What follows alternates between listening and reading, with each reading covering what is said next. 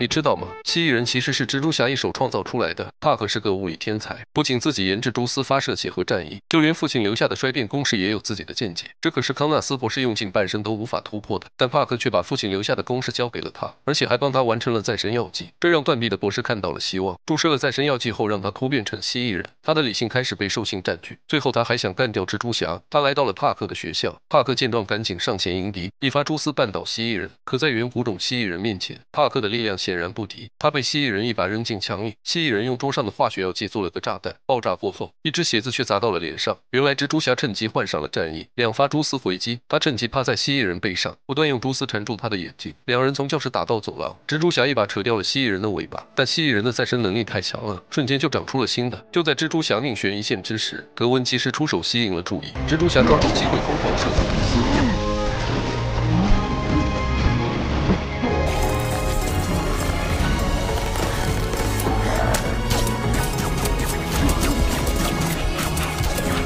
把嫌疑人直接缠成了一个结。接着反手将格温丢出大楼，继续和蜥蜴人展开了激烈的战斗。此时的老爷子正沉浸在音乐的海洋中无法自拔，丝毫没有察觉到身后的动静。蜘蛛侠再次被摔在地上，等他回过神时，蜥蜴人已经悄无声息的再次逃跑。帕克则追了过去，还给格温打电话，让他去奥氏公司制作解药。没过多久，帕克就见到了博士的地下实验室，并在电脑上得知了一个恐怖的计划。他要用奥氏公司的喷射装置把药剂散播到全城，让所有人都变成蜥蜴人。帕克赶紧给格温打电话，让他离开实验室。格温却说还有八分钟解药就做好了，然后就挂了电话。另一边，蜥蜴人一边往奥氏公司赶，一边向周围肆意的释放毒气，将周围的警员全部变成了蜥蜴人。与此同时，帕克马不停蹄地赶往奥氏公司，不料却在途中被警方的电击枪击中，摔在了地上。就在岳父摘掉他头套的瞬间，帕克立刻展开反击，把周围的警察全部打翻在地。但紧接着，岳父的枪口就对准了他。当岳父知道帕克就是蜘蛛侠时，也是非常震惊。但帕克来不及解释，因为格温的处境非常危险。岳父听后只好放走了他，但却被一个公报私仇的小兵打动了他。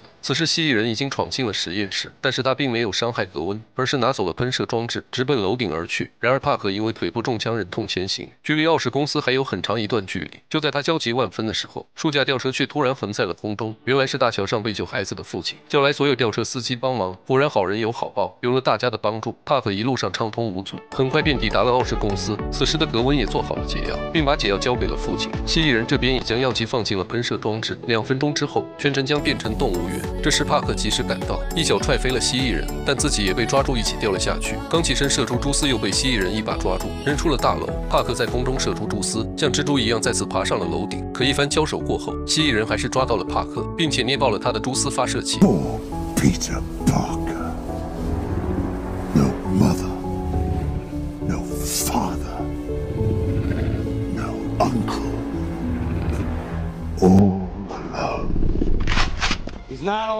岳父一枪打爆了液氮管道，帕克抓住机会对着蜥蜴人就是一顿狂喷。在两人的默契配合下，蜥蜴人很快被制服在地。岳父让帕克去安装解药，自己则留下来拖住蜥蜴人。帕克拿上解药，一路飞奔。就在这时，液氮耗尽，蜥蜴人的身体快速恢复。他无视喷子的攻击，使出一招黑虎掏心，接着直奔塔尖而去。在最后一刻，帕克不负众望的换上了解药。随后，解药在天空散开，蜥蜴人逐渐变回了博士。被感染的警察也恢复了正常，但岳父却已经奄奄一息。临终前，岳父终于认可了帕克，但他也告诉帕克，身为超级英雄，他会不断输，这会让他身边的人受到伤害。他希望帕克不要把格温牵扯进来，尽管帕克不太愿意，可他还是答应了。后来在岳父的葬礼上，帕克却只能躲在角落。最后他忍痛向格温提出了分手，但格温非常聪明，他猜到肯定是父亲为了他的安全，让帕克做了保证。看着格温远去的背影，帕克没有说话，因为他很清楚，只有这样才是对爱人最好的保护。成为英雄从来都不是选择，而是一种责任。今天的故事就到这里，感谢大家的观看，我们下期再见。